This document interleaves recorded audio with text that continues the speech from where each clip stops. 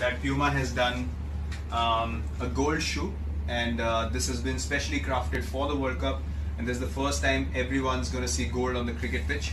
So I'm very excited because there's only 150 exclusive pairs made uh, available, obviously uh, in India and globally, but only 150 pairs. Uh, which will be quite a special piece to have. Um, but yeah, I'm very excited to have a specially crafted piece uh, made for me by Puma, and I can't wait to wear it. And um, I hope you guys uh, like it as well. Hopefully, this brings a lot of luck to me and the whole team as well. Um, and we'll see you at the World Cup.